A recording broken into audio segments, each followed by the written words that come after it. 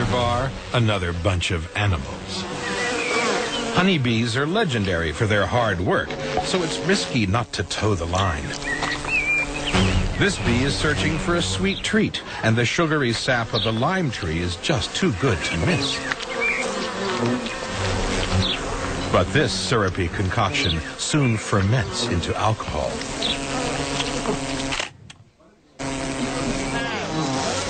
And the bee's reaction to the booze is much the same as ours. Prosecution Exhibit A, flying under the influence. He's lucky to make it back to the hive at all.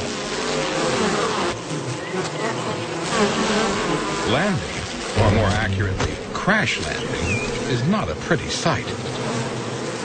But bee society is rigid. They have ways of dealing with this slobbish behavior. The hive has strict security. It's not exactly hard for them to pick out the drunken worker. This guy's a repeat offender, and the guard bees furiously bite at his legs.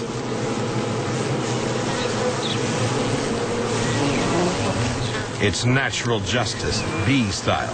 And the worst offenders don't lose their licenses, they lose their legs. But it's not just alcohol that gets animals.